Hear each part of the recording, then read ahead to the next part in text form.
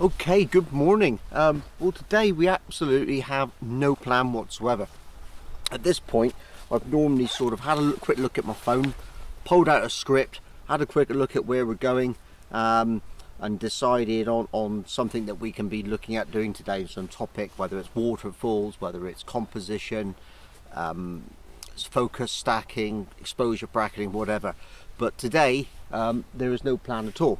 I was working on an idea. I had some ideas of some places I could go, some things I could do, but um, for various technical reasons, which we won't go into, none of them have actually come up. Um, so today, um, despite having this gorgeous light that's around me and wishing I was taking photographs right now, I've actually decided to just come out um, with zero plans and um, see what I can actually make of things. However, having said that, behind me, it's all kicking off with the lights, so I might take some photographs in a minute. Um, so all I've got today is a um, route on my um, Land Ranger app, and uh, we're going to follow that. We are going to take some photographs. It's more of a scouting mission for places to come back to when the conditions are just right. Um, but we'll, we'll see what we can come up with and see what we can do. So hopefully, hopefully you'll stay with me um, on this walk and uh, and then uh, who knows what's going to happen because I certainly don't. You're part of the photography community that gives me so much, so it's time to give back to all of you. It's my mission to inspire and pass on my knowledge, passion and skills.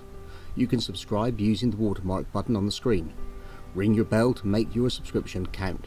Please stay to the end and comment. It's your feedback that keeps the channel going. Well guys, um, I would normally have put a bit of b-roll in and had me walking away and going to a different location but the fact of the matter is I didn't have time. Um, just after I was sort of doing the quick introduction to you guys um, it, was all kicking off in the light behind me. You could probably see it happening. And uh, that the although I didn't have a composition in mind I wasn't even thinking of taking a picture here the um, the opportunity was just too much too great to miss. I just couldn't take the chance of missing it. So um, I've stopped, I've done a number of pictures. Um, I did have the 24 to 105 lens on, but I could also see some great sort of light streaking across um, towards Princetown in, in, in the background and some beautiful trees in the foreground as well, making some quite nice um, compositions and, and, different viewpoints. So I've stuck the, the 75 to 300 lens on and I've been shooting some um, panoramics as well. I've got absolutely no idea whether they're going to come out because the light is really, really strong um, from the right hand side and it's darker on the left. So the length of the um, panoramic that I'm shooting we've really got some quite um, big changes in in lighting level from one side to the other. So I'm not quite sure how that's going to balance out. It may not have worked at all. But this is one of the good things about coming out and just going out. I think this, this is the theme of today's video. Just go out and take what you can and what you see. And uh, if, if the rest of the day works out like today has it's going to be absolutely fantastic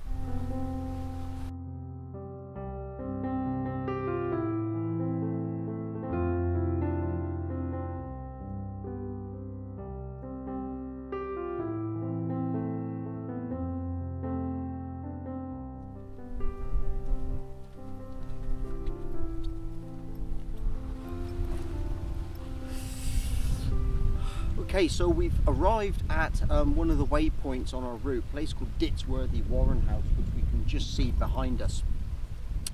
Um, this is one of the reasons why, uh, if you go out without planning, you've got to take it as a as a um, as a, as a recce really just to see what's going on and do a bit of a scout mission and just understand what you're going to do in the future because if you look behind me you'll see that the sun's now really quite getting high up in the sky and everything's backlit. And because everything's backlit it's making it quite difficult to actually um, take any decent photographs here because everything in the foreground is going to be in shadow, is going to be lacking in detail. Um, and everything behind it's going to be really quite bright. So it's not going to really work very well as a, as a photograph because of the um, lighting conditions. So this is always a good point when you're doing a, any sort of scouting to really just sort of um, look at where you are record your position on the map and uh, decide what you're going to do. Now one of the one of the ways I, I like to do that is um, I'll actually just take a photograph and uh, then I can sort of put some information on it as well. So I'm just going to take a quick snap on the phone of where we are just to give me a very rough idea. And then I'm going to add that photograph in a minute to a note. And uh, and, and then we've got a record of, of where we are.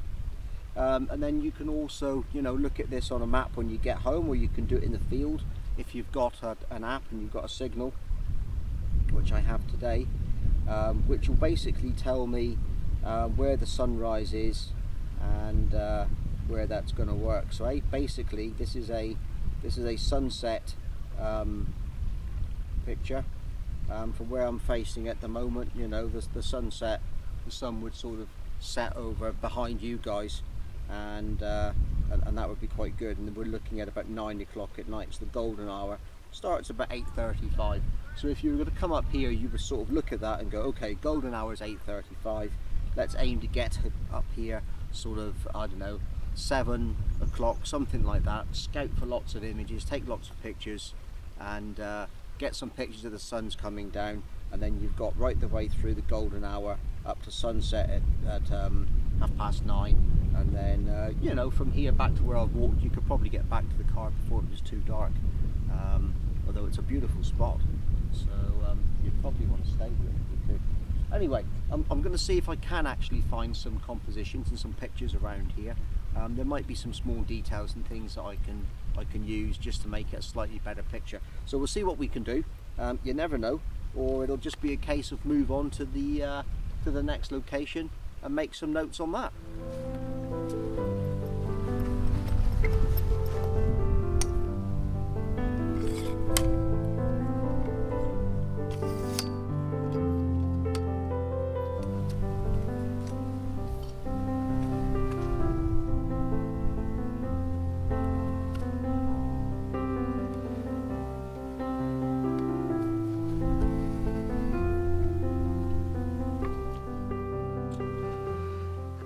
Well, I actually did find a composition. Um, I'm quite pleased with it as well. um, kind of okay with the lighting. It's getting a little bit contrasty and bright for me, but we'll see what we can do. Um, we'll do some exposure brackets and try and do the best we can um, to bring out the detail and the texture in the in this dead tree, which is sort of clinging onto the wall. Um, I'm using that as the foreground interest and the lead into this tree in the background. The reason I was taking so long is because I wanted the trunk of that tree to sit in between the split in the tree in, in the dead tree that's here. You probably can't see it on um, the on on the video as it is now, but you will see it in the final image. That's assuming I show you. Um, but it was important that I got that dead right and I didn't have it too high or too low because I want these branches to the left and the right lead your eye in from both corners at the same time and take you down to that tree and that detail and then your eye, your route back really, you're stopped by a further tree in, in the distance and um, this outhouse on, on the right hand side of the frame as well sort of stops your eye from going off into the moors. So it's all about um, the texture leading your eye in uh, into that tree uh, and, and that bit of interest. So it's all about the foreground and uh, this sort of scene and the lighting that we've got and everything. So I'm going to take these pictures now. Um, I've got my cable release out although I probably don't need it because the shutter speed's quite high. So just checking our um, focus again. Um, I'm going to focus on, on the wall on here, although these items are quite close to us. Um, I think that'll work fine. I really do think it'll work fine. Um, I might do a bit of a bracket with the, uh, I'll probably do a little bit of a bracket with exposure and I might even do some at f16 just to make sure that we have got sharpness in the foreground. Could even do a could even do a, a, a focus stack if we wanted to. So we'll take that. In fact I might bother with an exposure thing. Yeah okay we will. We'll, we'll do one at that. It's just a little the highlights are just a little bit too bright. So we'll underexpose it um, full stop.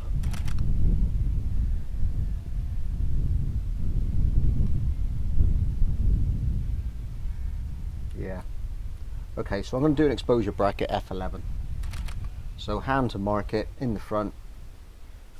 Correct exposure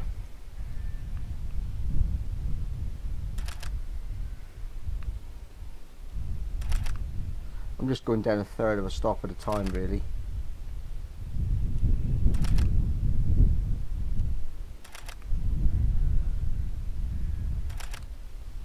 and that looks really quite dark at a full two stops underexposed but it does mean that if I want to bring out texture in these logs in the foreground I, know I've got it recorded I've actually got it there I'm going to do the same at f16 just in case my depth of field isn't exactly as it should be um, so marker frame. Okay so I'm going to move on to our next location. Not entirely sure where that's going to be yet. I've got to look at the map. And uh, but really it's it's absolutely beautiful out here today. The the temperature is exactly dead right. And uh, Ruby's laid down and gone to sleep. So um, we're in no rush. We're going to get to our next place and uh, see if we can get some more photographs. But if not then uh, do some more scouting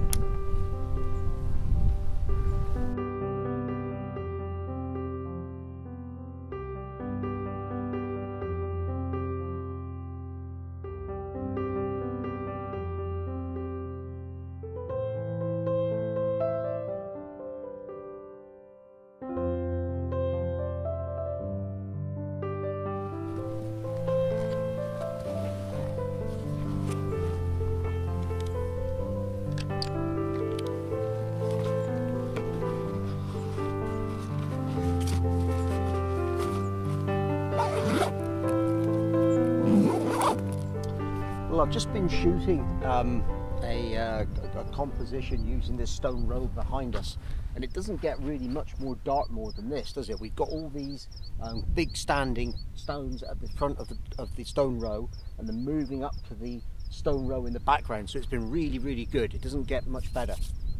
Um, I've taken the picture already because the lighting was a little bit better just now. The clouds are coming over a little bit more now and it's uh, sort of um, yeah, the scene's not so quite as good as it was. I've also had to keep my eye on some um, wild Dartmoor ponies wandering around because, uh, like I say, I've got Ruby with me and uh, she's, she's, she's pretty good, but she might get a little bit skittish if they get too close.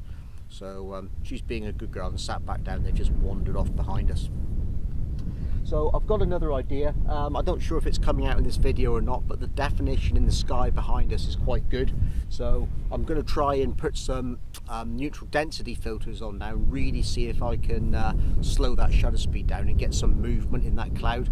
Um, it may work, it may not. Um, if, if, it does, then it, it, it might work quite well for me. So I'm going to do that now. I'm going to set up the neutral density filters and um, I'll, I'll, probably stack a few together so what I'll do is when I've got it set up I'll get back to you guys and I'll try and explain to you again um, exactly what it is I've um, put together.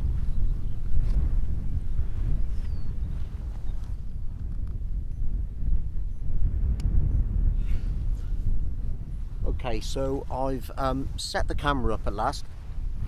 Um, sorry. So right so I've set the camera up and uh, basically what I'm doing I'm shooting in something called bulb mode bulb mode on your camera is where you hold the shutter open um, and you basically time it yourself and decide how long it's going to be. I keep looking at this because I want to leave it open for about a minute. So um, to get the exposure that I wanted I've had to shoot at f16 I've put a um, six stop a 0.9 which is basically a three stop and a polarizer on the front. So I've basically got a total of six, seven, eight, nine, about 10 stops of um, graduation, sorry, 10 stops of um, filtration on the front of the lens to cut the light down. And we'll see what that actually gives us. So we're about to end that now. There we go. So that's a one minute exposure. And yeah, it's just about come out, but the sky is a little bit um, overexposed. Um, so what I'm going to do is I'm probably going to cut the sky um, I'm going to um, do another exposure exactly the same and we're going to break it down and we're going to do the exposure at about um, 45 seconds. So same again 45 seconds switch this on see what we've got.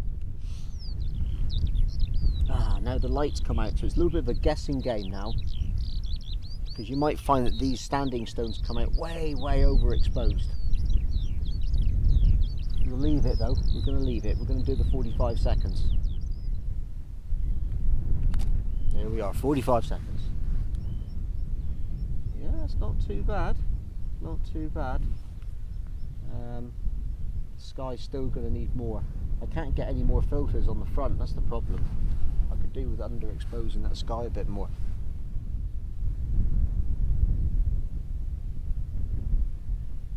You know what, looking at the histogram, I reckon we can use a grey graduated filter in uh, Lightroom and pull that back. Yeah, that's going to do. Okay, so yeah, hopefully we got something a little bit different there and quite enjoyed that. Um, our next location is on top of a tor um, and that's where we're going to sit and have a little bit of a break with a cup of coffee, a bit more to eat and uh, that will be our turning point to head back towards um, where we parked but there is one more location after that which we're going to go to. Just one more location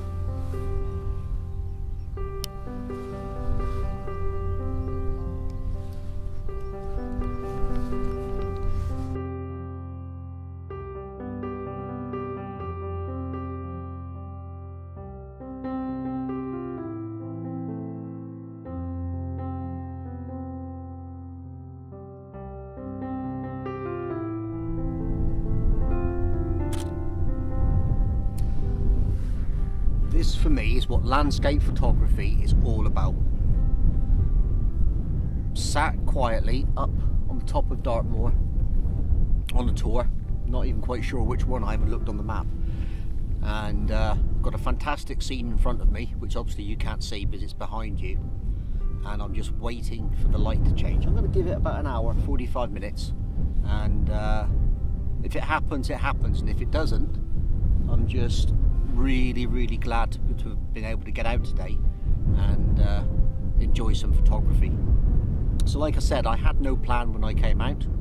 Um, and it was basically just see what I could find, go for a scouting mission, and I've um, I've certainly done that. I found some great spots, some good, interesting locations to come back to, made some good notes, and uh, yeah, and I think I found another route for a good Dartmoor photography workshop as well.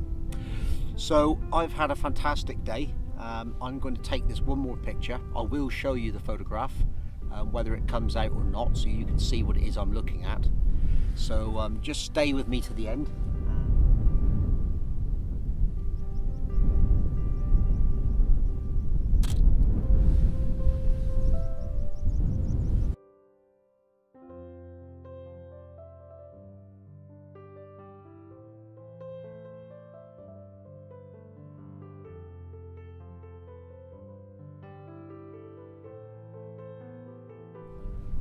Okay, so I hope that you've really enjoyed today's um, video and hopefully it's given you a few different ideas and, and, with any luck inspired you just to go out for the camera with a walk for a walk and uh, see what you can come up with. It doesn't always have to be planned. Um, and you always get the opportunity to find some new locations and do a bit of um, scouting whilst you're out as well. So I've certainly done that today. Um, it's been really successful from that point of view.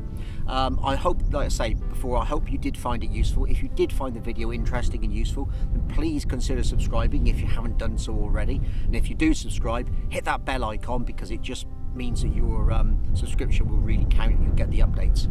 Um, I also um, really welcome all your comments. I do reply to every single one and read every single one and take them on board. So please comment if you've got any comments to, um, to make. And uh, apart from then, um, just get out yourselves, enjoy your photography and I'm going to see you next time.